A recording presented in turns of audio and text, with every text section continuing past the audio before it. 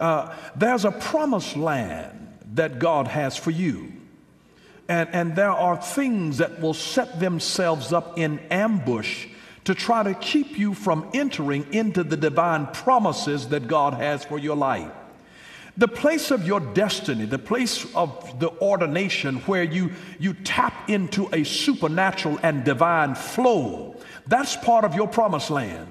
The heritage that God will give your children, that's part of your, your promised land. Wherever there's a promise, there's always a problem in front of the promise. There is always a problem in front of every promise.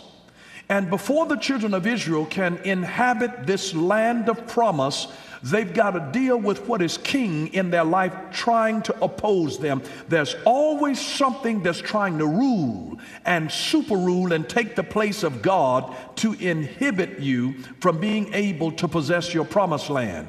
So here, not only was it just one king, but five kings banded themselves together as allies to work against the people of God. It was very, very interesting.